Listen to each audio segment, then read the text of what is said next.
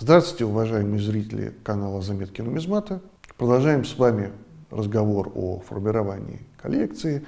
И, наверное, у каждого нумизмата, как мы уже и в других выпусках говорили, практически про каждую, наверное, монету, которая у него в коллекции осталась, закрепилась, заняла постоянное место, может быть целый рассказ. История этой монеты, как она появилась, чем она зацепила – Потому что зачастую проходит большое количество однотипных монет, но какая-то одна в результате ложится в коллекцию. Она чем-то цена, памятна, может быть, она обладает выдающимся состоянием. Всегда это разное. иногда сама история появления монет необычна, и очередную такую историю про монету из своей коллекции я сегодня вам и расскажу.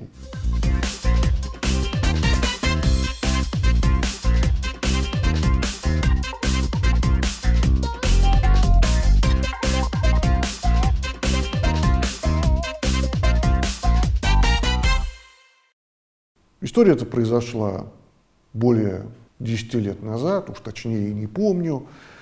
Тогда я, по сути, только начал заново формировать свою коллекцию, которая существовала с детства, претерпела многочисленные разорения, и вот, наконец-то, я заново серьезно начал ее пополнять. На тот момент источников пополнения было много, в том числе и многочисленные искатели монет, которые их с помощью металлоискателей и других средств находили, приводили в порядок, предлагали. И совершенно случайно через интернет я знакомлюсь с человеком, который буквально говорит о том, что целый ряд монет он нашел у себя на огороде.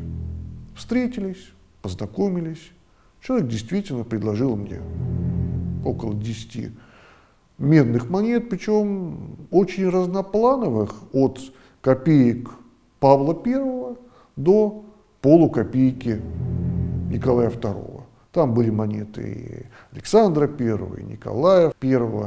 В общем, самые-самые разнообразные монеты. Договорились мы о цене, ну, весьма невысокой. И монеты эти я приобрел. Причем многие монеты были в неплохом состоянии, как объяснил нашедший их человек. Почва у него в дачном товариществе сверху плодородный, а снизу слой песка и глины.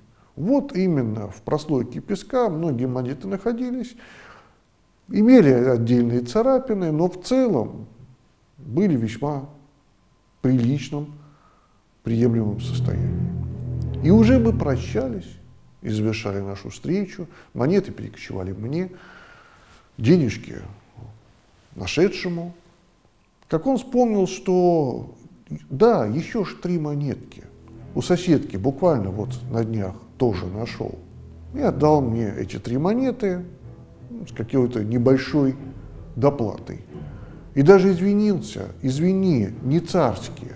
Были там монеты советского времени. С этими своими новыми приобретениями буквально день спустя оказался я в гостях у одного уважаемого коллекционера, которому хотел похвастаться пополнением своей коллекции, ну и обсудить, может быть, что-то оставить, что-то заменить, а что-то выкинуть или подарить кому-то, если монеты уж совсем в плохоньком состоянии. Пересмотрели мы приобретенные 10 имперских монет. Некоторые мне посоветовали оставить в коллекции, от остальных постепенно избавляться, заменять на лучшие. И, наконец, так же, как и мне, достаю я из кармана три оставшие словами эти не царские, но для коллекции тоже, наверное, сгодятся. Ведь могут быть там разные периоды, и советские тоже. К слову, я тогда монеты советского периода еще и не собирал даже. И тот коллекционер говорит мне, а вот эту монету давай прямо сейчас у тебя куплю. Меня такой подход очень удивил. Что же он увидел в простой, казалось бы, советской монете из земли, грязной, хоть и не черной, как очень часто попадаются монеты. Я тогда продавать ее отказался, хоть и предложили мне за нее немалые деньги, 600 рублей значительная часть от того, что я потратил на приобретение всех этих монет. Цены были тогда такие, монеты стоили не очень дорого. И вдруг 600 рублей за какую-то советскую медяшку. Лишь позже, посмотрев уже в справочниках, почитав немножечко статьи, понял я, что в руки мои попала вот такая замечательная монета. Полукопейка советского времени, причем самого редкого, 1928 года. Да еще из глинистой почвы оказалась она в совершенно замечательном состоянии. Ее потребовалось лишь чуть-чуть отмыть от грязи. И она в таком шоколадном виде и сейчас уже больше 10 лет украшает мою коллекцию. Как бывает неожиданно, монеты в коллекцию попадают и остаются в ней, надеюсь, уже навсегда, радуя владельца.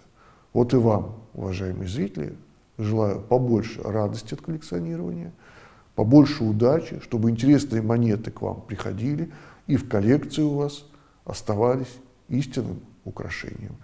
Удачного вам пополнения ваших коллекций. Спасибо. До свидания.